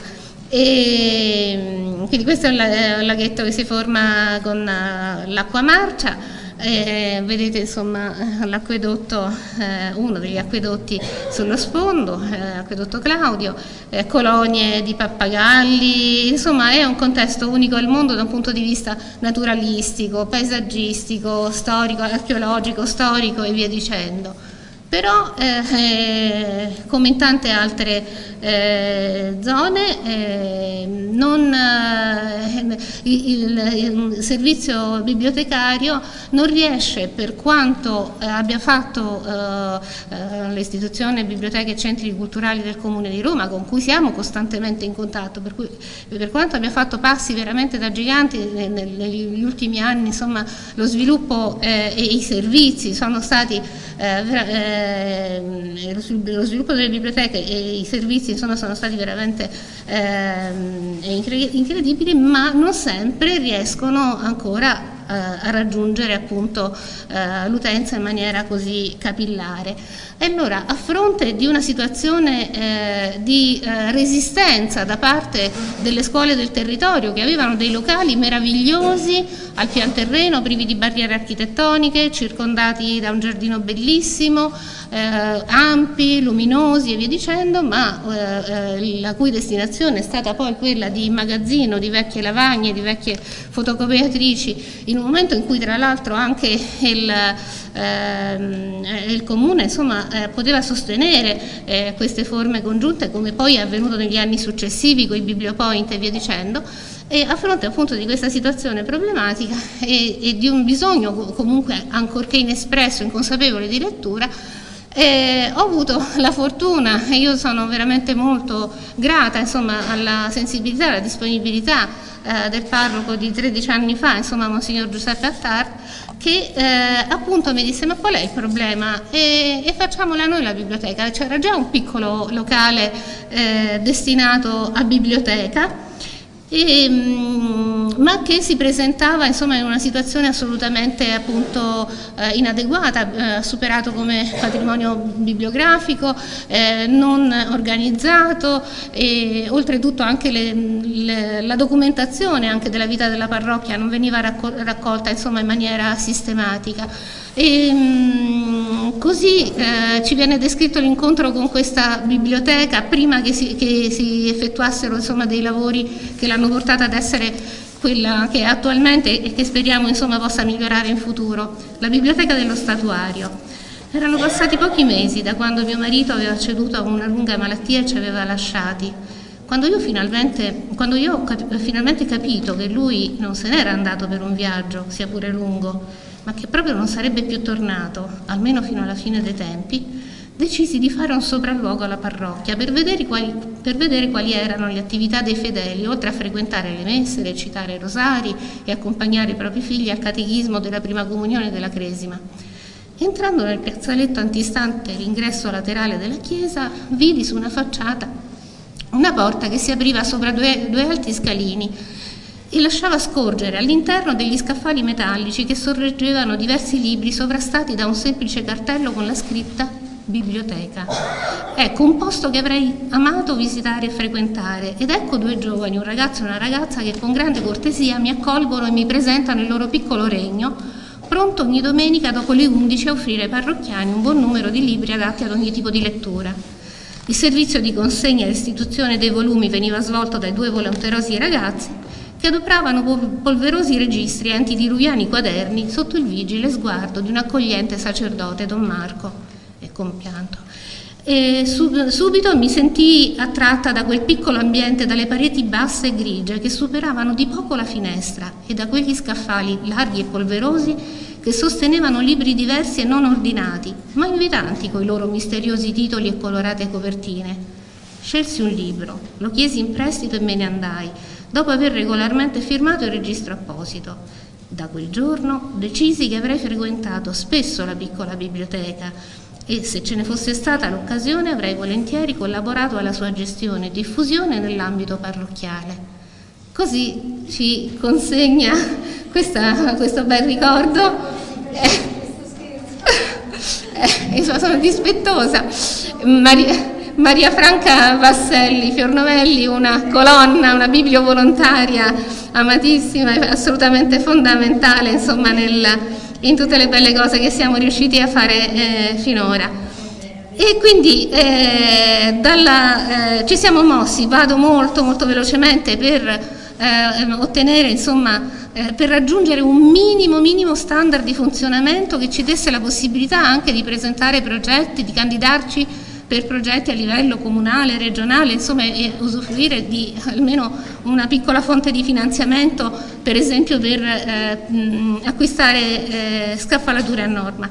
Fondamentale è stato per noi entrare eh, nel progetto MTS della Regione Lazio e avviare un'attività eh, appunto eh, sia prima di tutto di formazione perché la formazione dei volontari è assolutamente eh, fondamentale quindi eh, è stata eh, vitale insomma, la formazione professionale dei nostri bibliovolontari, sembra una contraddizione in termini, però proprio là dove c'è questo ehm, intervento generoso, appunto spontaneo, volontario, però è bene anche che sia eh, comunque insomma, eh, guidato e di una buona qualità. Abbiamo avviato tanti, tante attività e, e cataloghiamo, eh, eh, partecipiamo ovviamente eh, al servizio bibliotecario nazionale, ci inorgogliamo tremendamente quando ci arriva qualche richiesta di prestito interbibliotecario e, e, mm, e quindi eh, insomma andiamo un po' oltre confine, eh, sono appunto tante le attività, insomma promozione della lettura, laboratori e via dicendo, vari,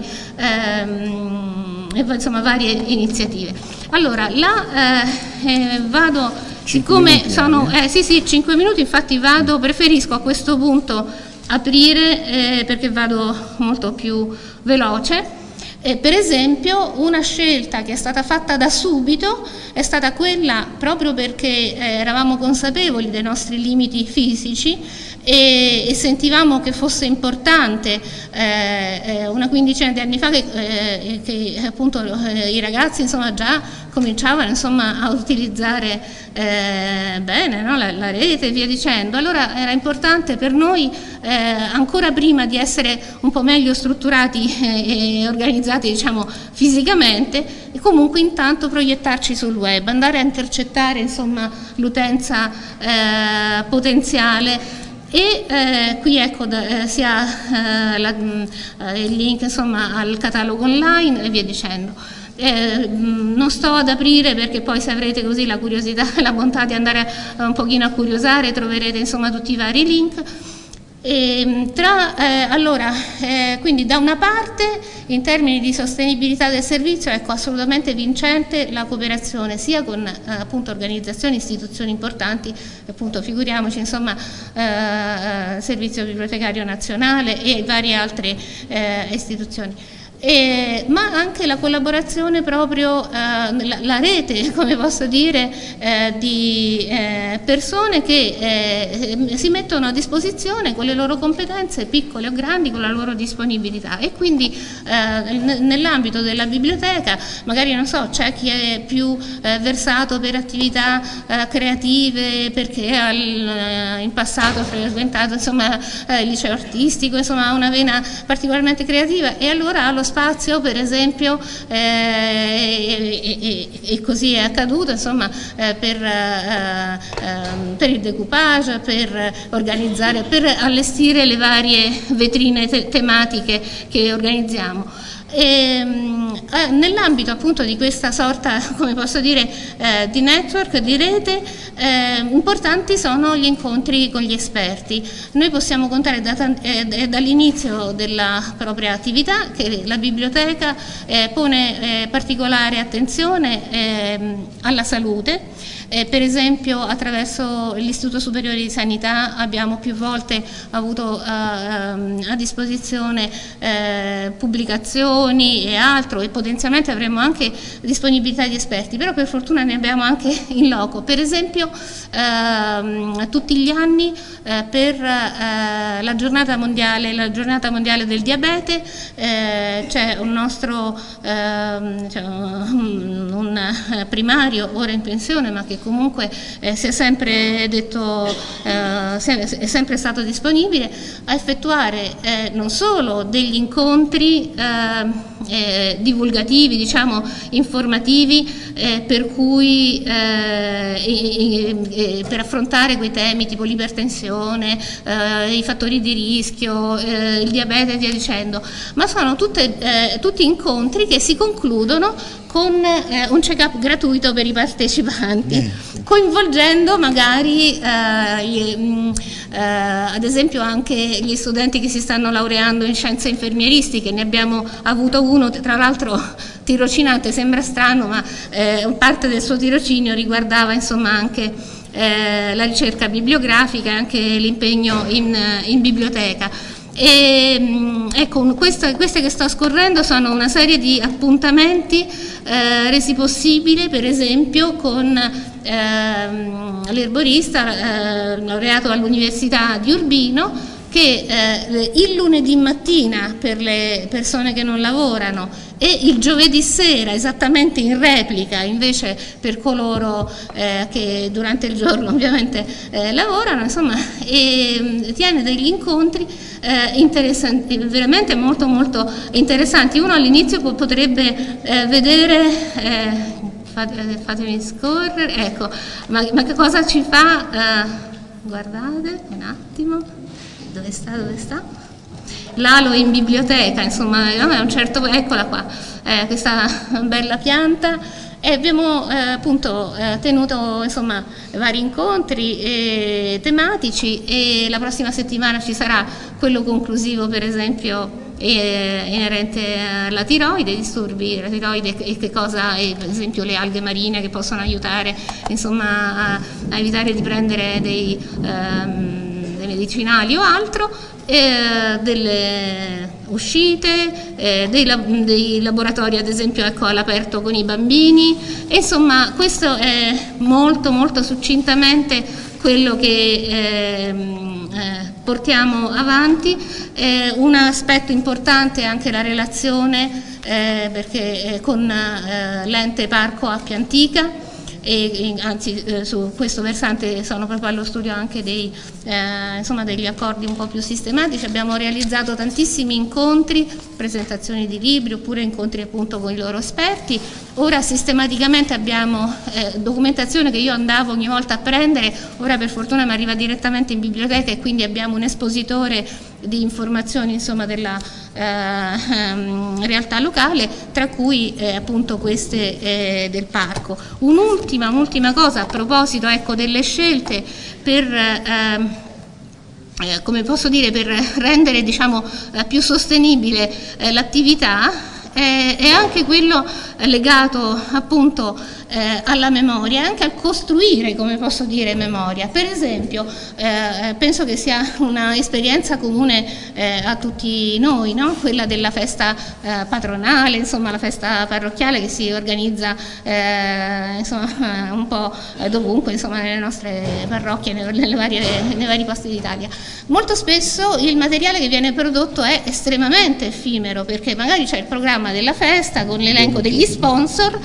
No, no, eh, eh, sì, sì, con le, ho finito, eh, con, con, gli sponsor e quindi eh, va bene. E ho detto, dico, ma perché non eh, ehm, trasformare, diciamo, cogliere questa occasione per fare anche un, un po' un bilancio dell'attività eh, del, del, quartiere, non, non strettamente insomma, eh, della parrocchia o comunque della parrocchia nelle sue diverse eh, declinazioni, no? il gruppo dei giovani, eh, il gruppo di ballo e via dicendo.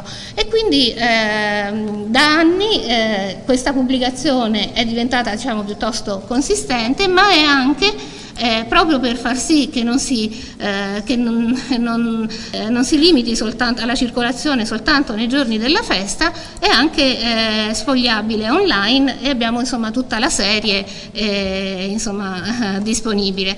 Io eh, su questo un, un secondo solo una cosa velocissima, vado a chiudere, non vi preoccupate aspettate, faccio una cosa super super super veloce, però ci tengo perché tra l'altro eh, la biblioteca è convenzionata con l'università ed è anche una, eh, quindi c'è anche la possibilità eh, per gli studenti di cimentarsi eh, in laboratori, in occasioni, eh, insomma organizzare, eh, fare esperienze su campo eh, con lettori in erba oppure con persone insomma, che magari proprio un libro non, non, lo prenderebbero mai. Ecco, questo è un esempio anche di come produciamo, eh, a voi sembra, eh, cioè in un contesto di biblioteca, sembra assolutamente eh, ovvio produrre statistiche e via dicendo, però per la realtà che rappresentiamo non è assolutamente così scontato. Invece per l'advocacy, per la eh, dire, promozione e eh, dimostrazione che le biblioteche appunto servono, funzionano, ma anche per eh, autoregolamentarsi, insomma vedere, eh, rivedere eventualmente il, il progetto biblioteche e è importante appunto acquisire ed elaborare i dati. Questi ad esempio ecco, sono stati anche oggetto di una tesi di laurea molto interessante ma è un lavoro che ora viene portato avanti da un nuovo biblio volontario, abbiamo pure le nuove leve e quindi Leonardo sta finendo le, la scuola superiore e quindi abbiamo insomma una bella continuità e io sono profondamente grata insomma a tutti loro che la, che la rendono possibile. C'è una colonna veramente importante che è Alba ma che è in biblioteca perché noi stiamo qui a godere questo bel convegno e Alba è a tenere aperta la biblioteca per bene, noi. Grazie bene, infinite. Bene. Eh, vorrei che venisse Anna Laura, perché adesso abbiamo, avendo, essendo stati un po' così severi, possiamo dedicare una mezz'oretta per un breve dibattito così generale, se c'è, oppure delle piccole conclusioni, che poi non sono conclusioni, ma sono un piccolo commiato, insomma, un commiato concettuale, con qualche idea, qualche opinione. Allora, ringraziamo tutti quanti i presenti che veramente ci hanno reso questa giornata particolarmente intensa e significativa. Eh, abbiamo avuto 315 iscritti tra le varie cose da varie parti d'Italia, da vari, da vari enti eh, rappresentanti ecco, un pochino della, della, società tutta e questa cosa ci, ci gratifica molto. Eh, vi dobbiamo ricordare di, per favore di consegnare all'uscita il, il, modulo di gradimento perché eh, i colleghi lo devono eh, poi raccogliere per gli adempimenti della qualità. Eh, ringraziamo veramente anche Roberto Daffina e Attilo Castellucci che tutta la giornata ci hanno assistito in, tutta, in tutte queste riprese, eh, li ringraziamo molto.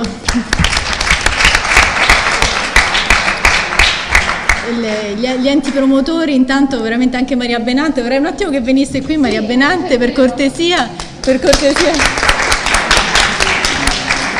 Vieni Maria.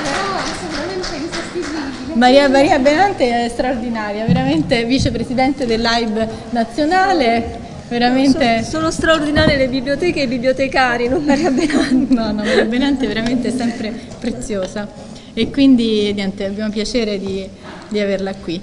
Allora, per quanto riguarda dunque il, il dibattito, ecco, chiunque di voi voglia fare domande, approfondimenti, fermo restando ecco, che i materiali a breve li mettiamo eh, a disposizione sul sito. Attualmente già c'è la raccolta di abstract e poi a breve metteremo tutti i vari i vari contenuti, insomma poi prossimamente ecco, prepariamo anche gli atti del convegno, insomma cerchiamo di rendere disponibile il maggior numero di informazioni a disposizione ecco, di tutti gli interessati.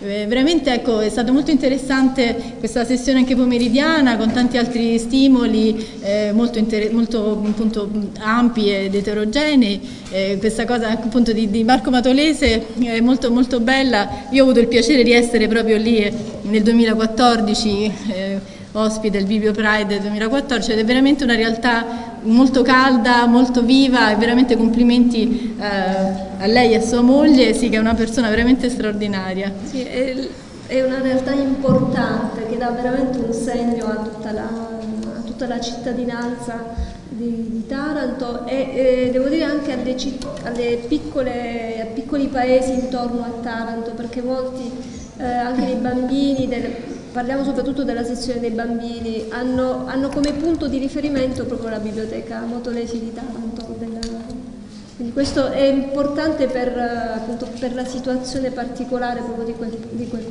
di quel, quartiere. A questo ci teniamo tanto noi perché eh, è, un, è, importante per le biblioteche ma è importante per, la, appunto, per il la comunità.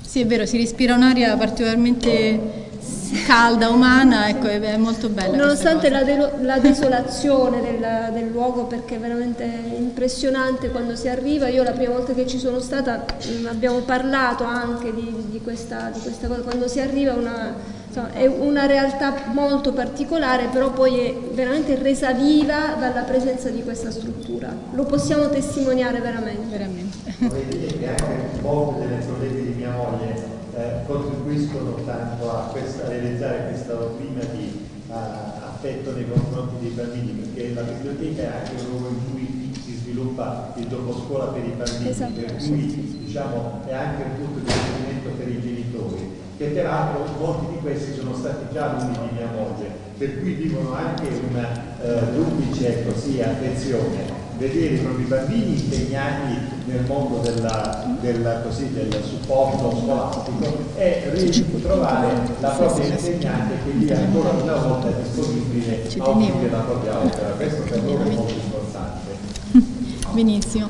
Allora, se qualcuno vuole fare qualche domanda è il benvenuto. Se c'è in platea qualche, qualche so, curiosità, anche l'intervento del CIES è stato particolarmente utile, ha segnalato varie tematiche di grande interesse, insomma approfondiremo sicuramente eh, altre cose, anche il, sulle, sui disastri sismici senz'altro è un altro aspetto particolarmente... Eh, poi la, la biblioteca del, dello statuario anche un'altra realtà interessante, insomma devo dire, ecco, diciamo, eh, speriamo di essere riusciti in qualche maniera in questa giornata, scusate un po' intensa, un po' convulsa per alcuni aspetti, però insomma, siamo, speriamo di essere riusciti a dare del, de, dire, degli stimoli a 360 gradi, ecco, per dire che le biblioteche ci sono, i bibliotecari sono, sono tutti molto motivati e, eh, con- animati da grande, da grande entusiasmo e quindi insomma, per, per rendere giustizia insomma, alla, alla cultura italiana insomma, che effettivamente ha bisogno anche di, di stimoli diciamo, particolarmente eh, intensi. Allora, adesso a questo punto non lo so, se non ci sono domande, eh, forse la giornata è stata lunga, probabilmente sarete anche stanchi. Ecco, speriamo che con il materiale che avete in cartellina, tra il calendario biblioambientale, insomma questi altri decali, ecco, dateci un feedback, ci farebbe piacere sapere, ecco, di volta in volta troveremo il modo dal sito di, di- di, insomma, di- recepire eventuali iniziative organizzate a tema, ci farebbe piacere. Eh, veramente ringrazio ancora tutti quanti, tutti quelli che hanno partecipato sono stati tanti. Di nuovo tutti gli enti promotori, Lab Puglia, Lab Lazio, il CNBA, eh, la rete SNPA, insomma veramente è stato un lavoro di equip eh, sul serio, poi tutte persone impegnatissime con altre cose, che vivono in, in realtà in città diverse, veramente ringrazio Raffaella Inglese per tutta la, eh, la- il straordinario impulso che ha dato, Laura Armiero, eh, Vittorio Ponzani, Valdemaro Morgese, Maria Benante, la- Luisa Marquardt, insomma veramente mh, Sarabelli, ecco, siamo veramente, era un, un gruppo molto composito, eh, veramente insomma, tutti hanno dato tanti stimoli, tante idee, è stato bello creare tutti questi, questi, questi elementi, queste cose, questi tasselli, ecco, è stato bello un lavoro di gruppo trasversale con molta energia, eh, insomma veramente insomma, penso che possiamo essere contenti di questo perché è stato anche piacevole, stancante ma... Lanciarci verso il 2017. Ma piace, infatti, dilla, a Luisa questa cosa, proponiamo ecco, per il 2017, speriamo, auspichiamo di poter organizzare qualcosa e cioè, speriamo appunto anche di mettere portare i in campo frutti di quello che è stato Frutti. il lavoro di, questa, di quest'anno, diciamo. di questo periodo, insomma, E vediamo. anche quanto riusciamo a costruire su quest- anche su, Eh sì, Su questa base base, di ecco, di questi che- stimoli che sono stati dati, vediamo quante, qua- quante altre cose creiamo, vediamo che cosa, anche questo tra le biciclette, ecco, cerchiamo di fare una biciclettata tra biblioteche di Roma, almeno, almeno di Roma riusciamo a farlo, altrove ecco, ci direte come lo farete. E, insomma, speriamo anche appunto di recepire questi, questi input che abbiamo avuto dal professor Nebbia, per esempio sul recupero di queste biblioteche. Vediamo un po' adesso la dottoressa Moroni mi saprà dire che cosa possiamo fare noi per recuperare eventuali eh, realtà. Eh.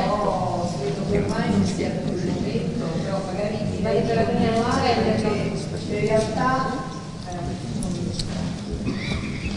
dicevo stamattina, acceso?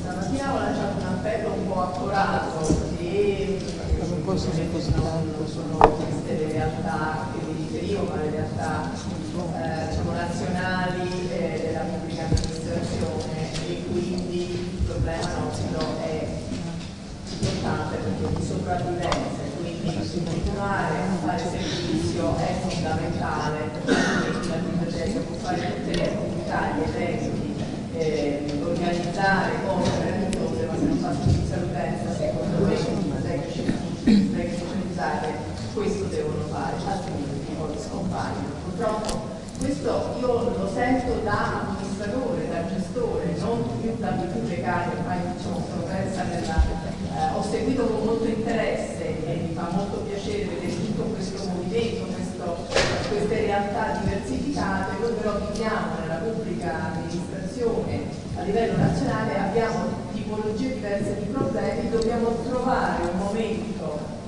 in cui eh, ci riuniamo e capiamo come andare avanti. Io penso che ecco, con i problemi pure dell'Enea, con il CNR, con eh, l'Istituto Superiore di Sanità, ehm, oltre che rafforzare già i network che erano pubblici. Questo è un messaggio importante, capisco che ora cioè, ho un po' gelato l'atmosfera, però secondo me per la nostra vita e per il, il servizio che noi dobbiamo dare alla nostra utenza è fondamentale trovare dei, dei momenti di incontro con chi è decisore. Benissimo. Eh, questo, eh, questo vale, se mi è consentito, vale per tutte le tipologie di biblioteche, perché anche in- in espe- per quanto riguarda esperienze, come posso dire, ecco, che sono nate così, diciamo dal basso, no? spontaneamente, via dicendo, se la biblioteca non è significativa dei suoi utenti, se non ehm, intercetta le loro, i loro bisogni di informazione, di lettura, di studio, di, di ricerca, quello che sia, e dà risposte appunto eh, che a loro servono, e quindi eh, di diversamente perdono di significato e automaticamente può essere la biblioteca più bella del mondo, ma è destinata poi a non, a non avere eh, quella, quella, vita che invece noi ci auguriamo, perché è proprio il punto di incontro eh, tra eh, l'informazione e la persona che, ne ha bisogno, quale che sia, insomma.